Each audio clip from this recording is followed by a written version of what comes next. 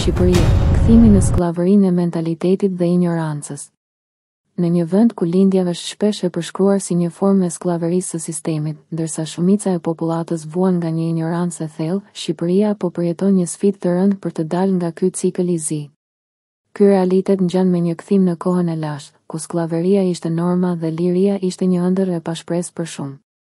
Në vend që të lindë një brez i lirë dhe me potencial të plotë për të ndërtuar një të ardhme të ndritshme, në Shqipëri shumë prej tyre lindin të lidhur me zinxhirët e sistemit të korruptuar dhe të manipuluar.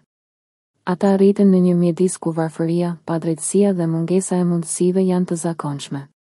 Mungesa e burrërisë dhe guximit për të dalë në përballje me sfidat e jetës bën që shumë prej tyre të mbeten në një gjendje të pashpirt, duke mos u përpjekur për të përmbushur potencialin e tyre të plotë. Shqipëria po përjeton një krizë thelbësore të burrërisë dhe trimërisë. Njerëzit janë të prirur të pranojnë gjendjen e tyre si të pashmangshme dhe të mësojnë të jetojnë me varfërinë dhe mjerimin si një pjesë e jetës së tyre të përditshme. Ata nuk janë të aftë për të ndryshuar realitetin e tyre dhe për të krijuar një të ardhme më të ndritshme për veten e tyre dhe për brezat e ardhshëm. Pyetja është, pse kjo gjendje e lodhur dhe e pasivitetit është pranuar me kaq lehtësi? Pse nuk ka revoltë dhe përpjekje për të ndryshuar situatën? Përgjigja mund të jetë e ndërlikuar, por një faktor kyç është mungesa e edukatës dhe ndërgjegjës së përgjithshme.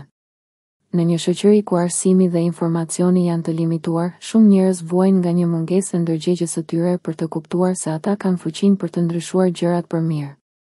Shqipëria është një vend me një histori dhe trashëgimi të pasur kulturore dhe historike, por për të shfrytëzuar potencialin e saj të plotë, populli duhet të zgjohet nga gjumi i pasivitetit dhe injorancës. Është koha për të ndryshuar mentalitetin e lodhur dhe për të kultivuar një kulturë të burrërisë dhe guximin. Vetëm në këtë mënyrë, Shqipëria mund të dalë nga kjo gjendje e skllavërisë së sistemit dhe të shndërrohet në një vend ku liria dhe përparimi janë norma, jo përjashtimi.